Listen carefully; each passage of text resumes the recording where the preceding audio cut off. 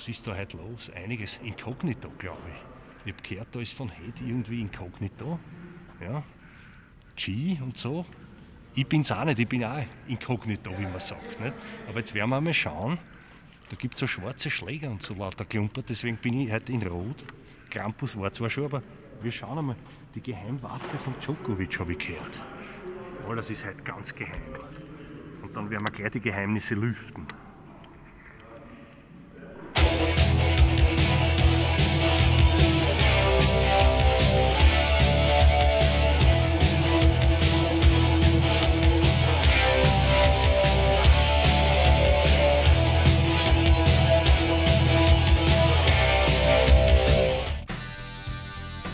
Tennis Outlet und Head Austria luden am 18. Dezember zu einer Racket-Präsentation ein.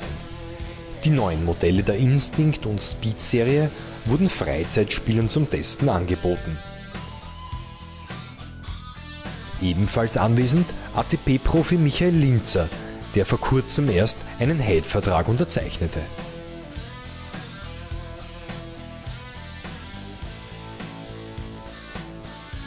Es fanden sich Medienvertreter, Racket-Tüftler, Profibespanner und einige andere Tennis-Freaks ein. Jeder kam zum Zug. Die Modelle der Instinct und Speed Serie waren in verschiedenen Gewichtskategorien vorhanden. So, nachdem wir einige Test-Rackets von Hyde, nämlich die Speed-Serie und die Instinct-Serie getestet haben, wollen wir mal von den Testern ein paar Informationen und ein paar Feedback einholen. Hallo. Welche Schläger hast du heute alles getestet? Äh, ja, die Speed und die äh, Instinct-Serie, die leichten und die schweren Modelle. Und muss sagen, ich persönlich komme mit der Speed wesentlich besser zurecht. Also die Instincts sind mir ein bisschen zu hart, kommt ein bisschen zu wenig raus ist bei der Speed doch deutlich mehr mit, dem, mit der Geschwindigkeit, was rauskommt. Also gefällt mir besser. Aber insgesamt alles gute Schläger. Es ist nicht unbedingt ein Schläger dabei, den du eventuell zu Weihnachten geschenkt bekommen würdest. Geschenkt nehme ich alles. Aber ich spiele sonst normalerweise ein Prestige und der liegt mir doch wesentlich mehr als diese Modelle. Also wenn, dann würde ich sagen, den Speed 300, aber wenn es mir die Wahl lässt zwischen Speed und Prestige, nehme ich den Prestige. Was ist äh, dein aktuelles Standard-Racket? Äh, ist der Head Prestige mit Plus. Und was unterscheidet den zu anderen Head-Modellen?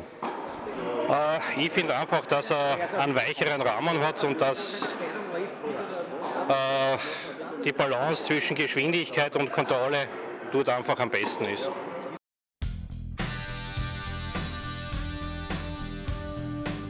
Wer noch genug Puste hatte, konnte sogar einige Bälle mit Michael Linzer schlagen. Sei es auf der Grundlinie oder am Netz. Die neuen Modelle wurden für alle Spielsituationen ausgiebig getestet. Breaktime TV dankt für die Teilnahme.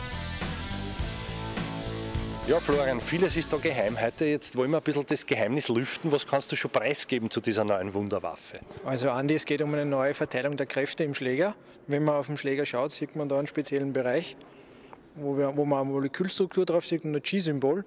Und um diese Verteilung der Kräfte geht es. Ja, das Geheimnis bleibt weiterhin top secret, aber am 11. Jänner wird es weltweit gelüftet bei uns auf der Website und Djokovic wird den Schläger präsentieren. Ja, und er wird natürlich auch spielen damit, hat uns sozusagen einen persönlichen Brief geschrieben, haben wir auch schon gesehen. Genau. Äh, was ist also jetzt äh, für, die, für die Spieler, was kann man zusammenfassend sagen, was ist das Besondere? Also das Besondere ist, dass man beim Schläger einfach wesentlich mehr Output erzielt mit der G-Technologie. Also man kann müheloser spielen, man kann kraftloser spielen und das Tennis wird ja immer schneller, das sieht man, das siehst du auf der Tour jedes Jahr. Und ähm, unser, unsere Rückschlüsse, die wir gezogen haben, ist eben die G-Technologie mit der neuen Verteilung der Kräfte im Schläger. Und da kannst du nur ein Resümee machen zum heutigen Tag. Äh, der Walter S., wie er sich nennt, in, in Anlehnung zum G, hat ja eingeladen, hat da einige Tennisfreaks zusammengetrommelt. Äh, wie ist dein Resümee von dem Tag? Äh, Tennis Outlet ist ja da auch ein sehr wichtiger Partner. Mit Tennis Outlet, die Tennis Insider und die Tennisszene aus dem Bereich ähm, da zusammengefasst heute. War für uns auch sehr interessant, die Feedbacks jetzt schon zu bekommen, weil die Entwicklung steht ja nicht still. Und äh, wir freuen uns, dass Tennis Outlet so gute Kunden hat und äh, dementsprechend auch in der Szene gut vertreten ist. Also Djokovic wird mit dem Schläger auflaufen, nehme ich an. Wer wird ihn noch spielen? Kann man das schon sagen? Genau, Berdich wird spielen, Sharapova, Zilic und ähm, vielleicht kommen dann auch österreichische Spieler dazu. Und natürlich viele, viele Hobbyspieler hoffentlich. So ist es. Schläger habe ich schon gesehen. Schaumschläger auch, so wie ich. Und natürlich Racket-Modelle von Heid. Wir haben den Michi Linzer gesehen. Wir haben noch und noch in der Kraftkammer, der Erwin Enzinger war auch da. Es war ein super Tag. Und jetzt muss ich schauen, dass ich irgendwo die Finanzen herkriege. Die nächste Bank ist sicher gleich ums Eck, damit ich mir die Australienreise leisten kann. Viert euch. Da gibt es den nackten Schweden, aber das kann ich euch jetzt nicht zumuten.